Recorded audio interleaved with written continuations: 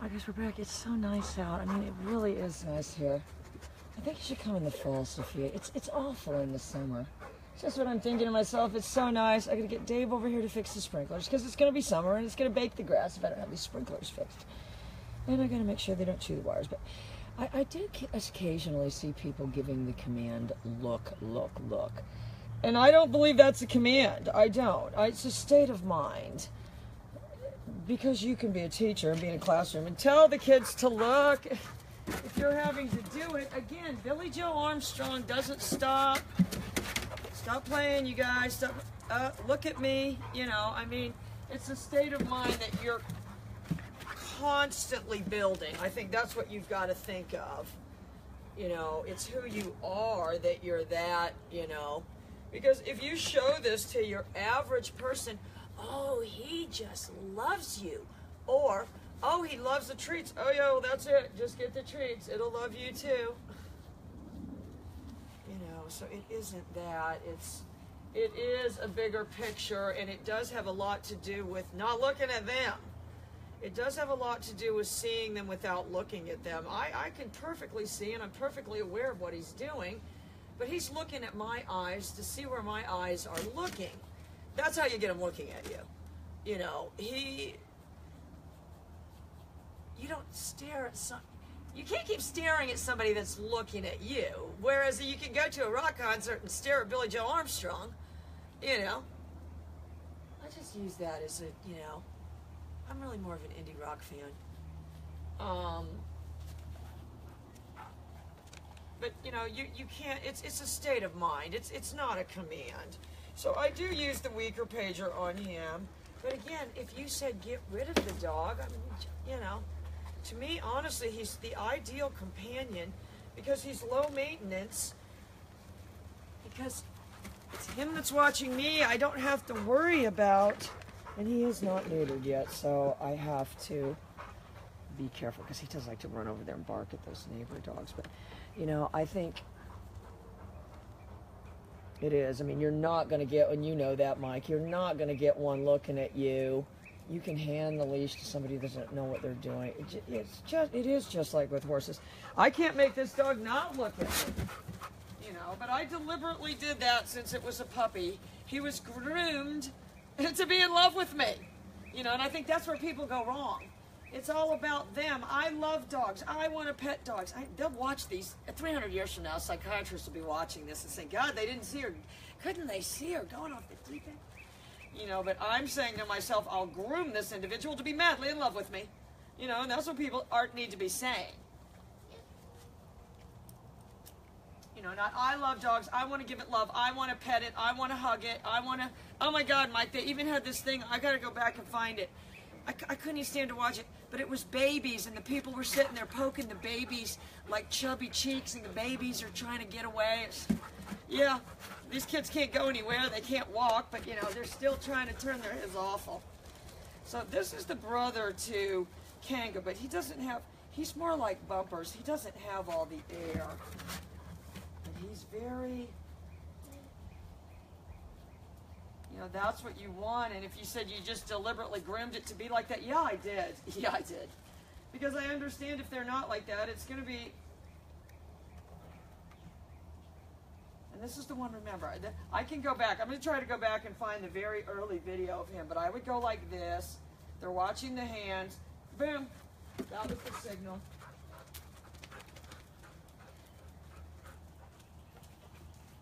And I started him on the pager really young.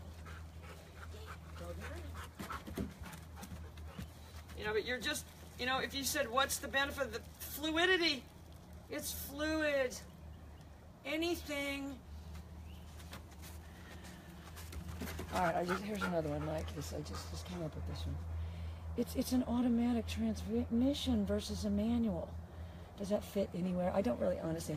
If someone said something happened to the transmission, I'd say, oh, that's awful. I don't know what that means, but you know. I know it doesn't work without the transmission. Is that a good analogy? You know, if, if the if the prong collar's a manual transmission, then this is clearly the automatic. And he will, he'll go this way.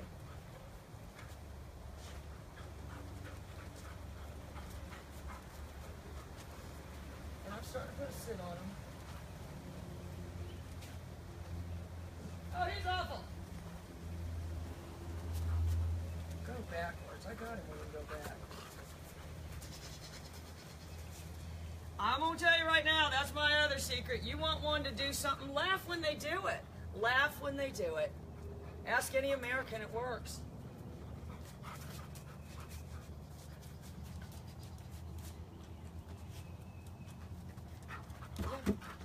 Do you hear any of these other people mentioning these things? No, they don't. And you do. You have to love doing it. And if you love doing it, when they do it, it's cute and you laugh. You know, it's that's how a lot of these dogs get a bad habit.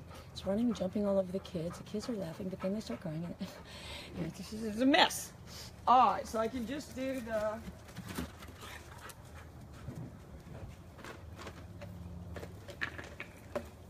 And I just, I can kind of send this one, I think, or maybe that's the other one.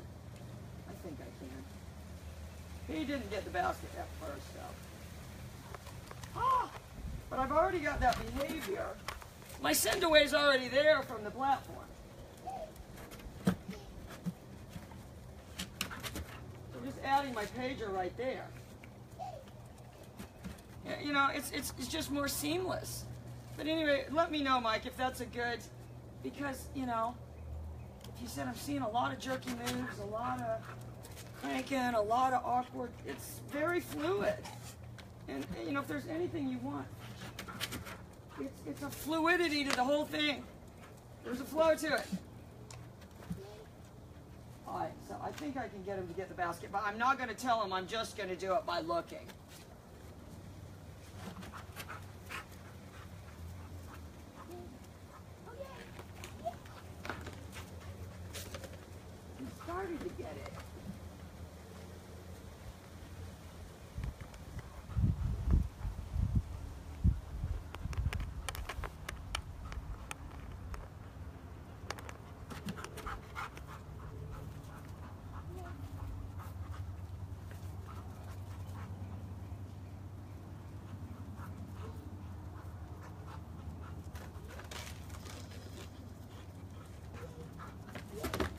If you said what's throwing him off, I'm going to tell you exactly what's throwing him off, and it's Skylar, and it's because he's not neutered. Not Skylar. Skylar is neutered. These, I gotta go. I'm getting them neutered. I've already um, talked to Dr. Castro. That's the, you know, that's what I want you to think. The whole thing's got a flow to it. If you were to put the dog's head in a computer program, honestly, you, you know, a prong collar, or even the chain, you know, if they said, well, it kind of winced, it closed its eyes. All these things are just eating your fluidity. They're just eating your fluidity. You want all motions to be. I want, I'm saying to myself, honestly, I don't want to do anything that's going to obscure the eye line. I'm not reaching for the head. I'm not rubbing the head. So you can't rub the head. But everything is happening very, you know, uh, everything is very smooth.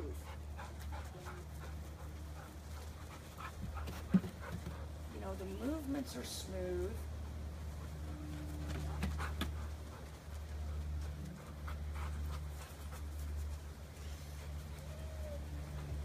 You know, he's not, from his end, dog in training, you know, he's not getting jerked or anything. He's moving freely. He's moving freely. So that's what you have to think of. Once you put a chain on and start jerking him, I promise you guys, I used to do that.